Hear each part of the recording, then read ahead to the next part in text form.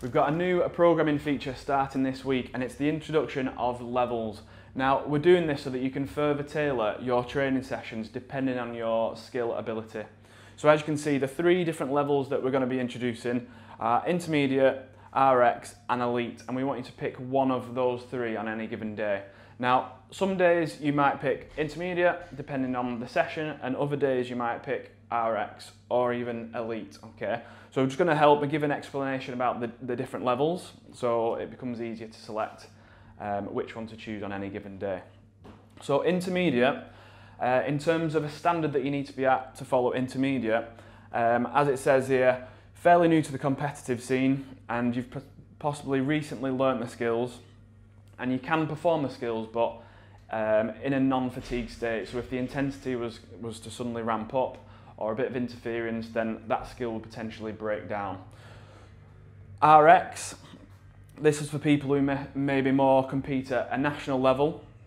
So, you know, we're talking kind of European Championships or um, Rainhill Trials or in around that quarterfinals level um, qualification after the Open. And at this level, um, we said he can still perform the skills to, to a good standard with a moderate amount of fatigue, but the intensity does have to drop a little bit um, in order to maintain like a high quality of movement. And then elite, which is going to be the top end, and that's for people who are, who are in and around or on the brink of semi-finals qualification or higher. Um, generally people that have been involved in the CrossFit scene for a few years.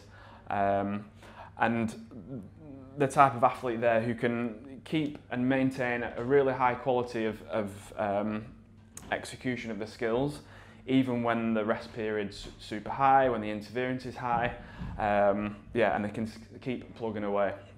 So as a little example, um, we've kind of used, we've took one of the most simple uh, sessions from, from the first week of the introduction of this, just so it's super clear um, uh, on, on, on how, it, how it differs. So in intermediate, you can see that we've got four to six sets there. This is a, um, a pull-in interference session.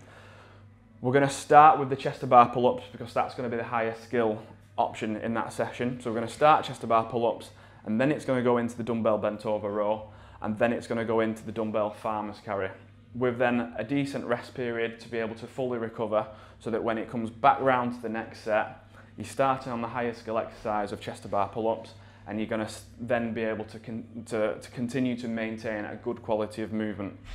And the fatigue's going to come uh, in the second and third exercise, but it's fine because they're lower skill movements anyway. Um, so that's really limiting the, um, the level of skill breakdown that's going to happen in the chest to bar pull-ups, which is what we're going to need if you're at that level of athlete. Moving up one, Simply, just, again, just for the, the, um, the use of this example, all we've done is we've took the bent over row as the first exercise and then the chest bar pull-ups as the second exercise. So now people following the RX are going to be doing their set of chest pull chest to bar pull-ups uh, under uh, a little bit of fatigue from the dumbbell bent over rows. Okay, and then finish off when the fatigue's probably at its highest with a simple exercise of, of uh, dumbbell farmer's carry again rest period, and go through it again. So there's a moderate level of, of fatigue and interference, but not too much that it completely breaks down. And then moving on one further, completely change the order. So the, the highest skill exercise in chest to bar pull-ups is last. And we've got the dumbbell bent over rows first, into the farmer's carry, into the chest to bar pull-up. So by the time you get to that, those chest to bar pull-up sets, the pulling muscles have been fatigued, the grip's been fatigued, the heart rate's probably going to be a little bit higher, and then we're going to go into that set of chest to bar pull-ups. So that's why we're asking people that are going to follow the elite to have a, a really high level of, of skill quality um, and experience in, in you know, competitive training to be able to maintain uh, the execution in this elite category. Now we're going to do these levels in gymnastics sessions, uh, you might see an introduction to them in conditioning sessions, uh, but then also midweek workouts as well. So what we're trying to achieve from these levels is that whichever level you, uh, you select, you're always getting the right stimulus out of that session and you're not getting to the point where the skills breaking down or you just ended up having to rest loads to be able to get yourself through the session. So there's always a good level of intensity, and by picking each level, we're then able to tailor the intensity so that you get the most out of each out of each workout. That being said, it doesn't necessarily have to lie on kind of the standard that you're at as an athlete. Like we do with the the self-regulation of four to six sets.